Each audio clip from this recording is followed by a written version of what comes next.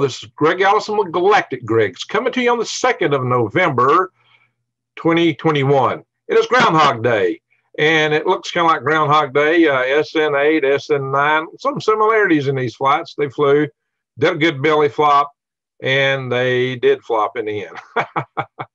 spectacular flight, though. So, again, this is Greg Allison with Galactic Gregs, and we're talking about the SpaceX Starship prototype serial number nine flight that occurred today. It was an awesome flight. It was a great test flight. They're going to learn a lot from this flight. Uh, right now, the time on deck is 1509, 100 hours Central Standard Time. All right, all that said, let's get on with it here. Uh, SpaceX launched, as I said, SN9 today. Uh, it took off, flew beautiful. They did the belly flop. It had excellent control in the flight of that system uh, all the aerodynamic surfaces. They got these huge flaps on it, and yet they're driven by electric motors. And they, even as big as they are, they're fluttering like little insect wings. Very excellent control. Uh, but the landing was a bit of a problem once again. Uh, so we'll go into that, and we're going to look at some of this video. I'm doing. If you've not already subscribed to my channel, please subscribe. Bang the update notification bell and click all. You'll get many videos I cover on a broad range of space topics because I'm a big picture guy. I've got broad experience. I've seen a lot of things in my many decades and work in many different systems, high level, low level, all over the map. And I'm just going to skip through this and play through it and talk over it. This is the launch right here. Here we go. And it had an excellent launch. And lift off. Here these guys. you probably see my picture in here twice because I was recording this the way I was. So the flight started out very well. It's executed very well. Nice flight. Look at this. What you see, good Mach uh, uh, characteristics in the, the planes and had the three uh, thrusters burning.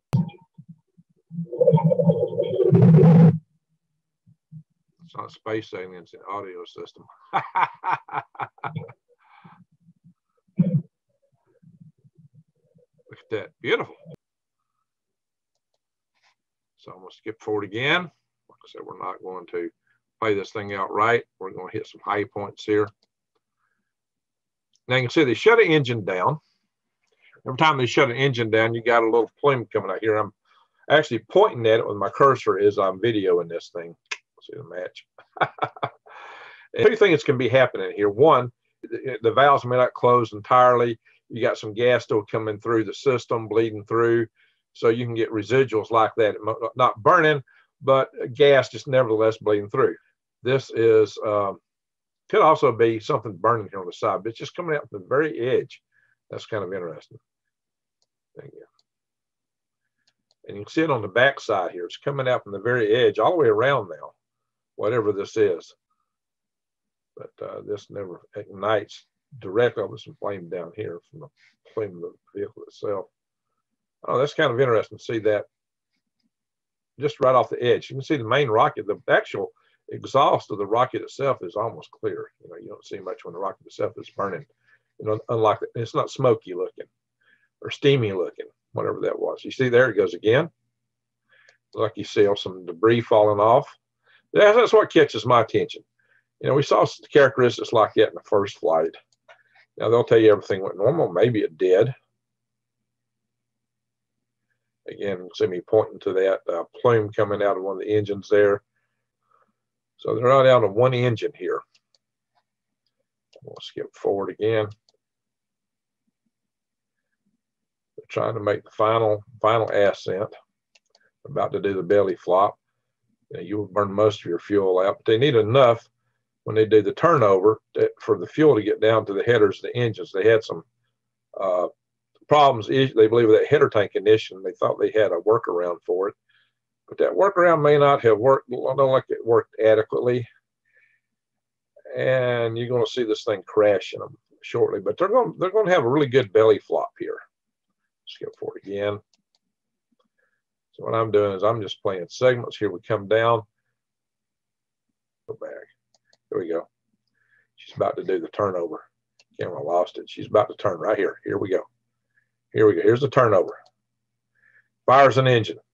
So they got a good restart on this engine, and they did the other time. They had one engine restart good, and that's that's the only engine that actually restarted good. So what happens is, it comes in too hot. It needed at least one other engine fired up.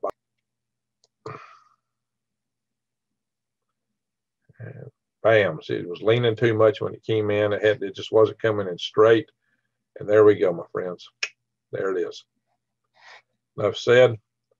Well, the cool thing, well, not so cool. You can see the upper tank rupture here. That did not. You saw with seal PVC. Uh, you saw me falling with my cursor. I caught it real fast. That's my cursor from when I was actually watching this.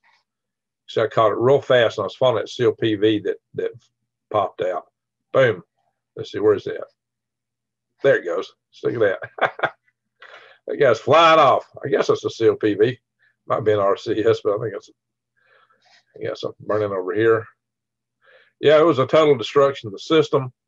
Uh, and right next to it is SN10, waiting for the next launch. Now, part of the, they say part of the objective of this is to see if SN10, if, you know, have another vehicle on the launch pad, if it does stand the overpressure of some event like this, well, it did. Doesn't mean it will stand a full up Starship. but you won't be bringing back uh, the, the, the Starship and the uh, Super Heavy uh, all at once in one piece. So yeah, hopefully something happens and I'll be one. Now, yeah, see this here's debris falling. At this, guys.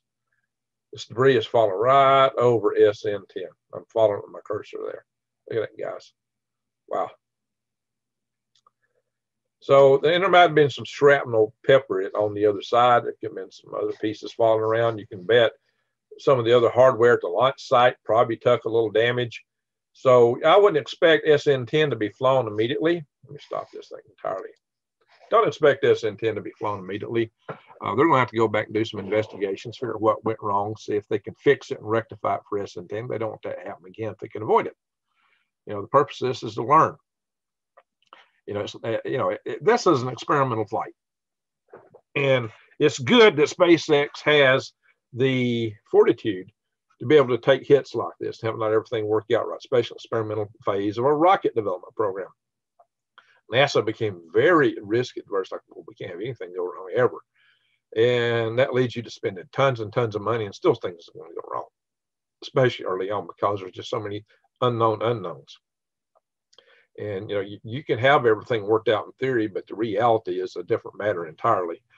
So models and theories, you know, they're they're they're they're, nothing compared to reality.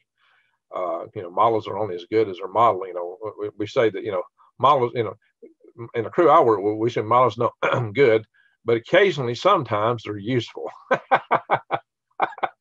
Just you don't count on them. You don't rely on them. Yeah, I've seen people that have been totally reliant on models and programs uh, and early on, you know, I got kind of perturbed in some early days working space station. I saw some people that just thought models were going to tell them everything, and I was going, uh-uh, uh-uh, uh-uh, no.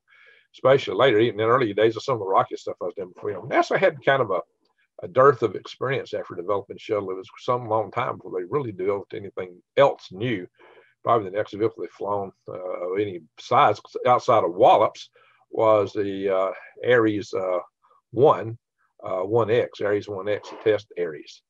Uh, and you, saw how that went. But that, that gave the guys at least something to chew their teeth on. I myself developed my own rockets, my hybrid rockets, and that gave me a lot of experience and hands on. And I got to see that, you know, the, the three of the models are, are way apart. way apart in reality. So that's, that's a good thing about building things and flying things.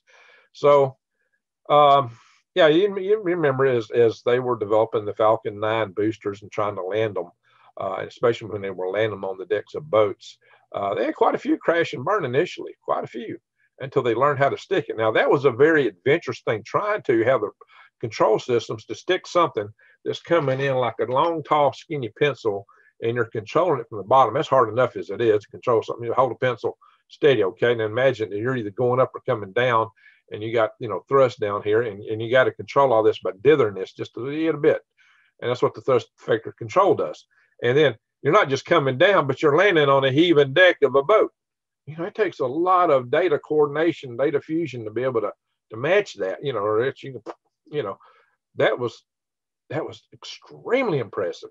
Um, I'm impressed that they were able to pull off the belly flop because the belly flop uh, had never been done with a rocket vehicle like that. So I was impressed with that. Now, what they've not been able to, to nail is the turnover and landing. Uh, it might be that you know they should just do the turnover higher up, not do it right at the last minute, which might mean they need more fuel to make it work. But you know, because uh, they're turnover last minute, that fuel has got to get in, in, those injector heads, those motors right off the bat. If you're not getting enough there, it's interesting. He let one motor though each time, but not two. But that last time, this last flight on the SN9, it didn't come down like that. It came in like this. It was coming in hot and it's coming in an angle. So at that point, they were just trying to get it to the location. So it did come in different. At least uh, SN8 came, I believe SN8 come down more, a little bit more straight down, but SN9 really appeared to come in at more of an angle. Thank you for watching.